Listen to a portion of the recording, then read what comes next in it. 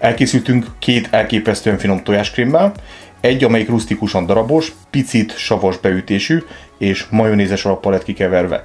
A másik az lágyabb ízű, sejmesebb és krémesebb, hiszen vajjal dolgoztam ki.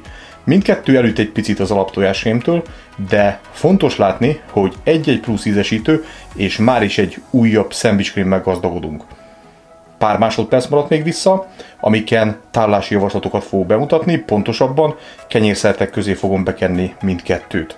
Ha elkészíted, jó étvágyat kívánok hozzá, találkozunk a következő filmben is. Sziasztok!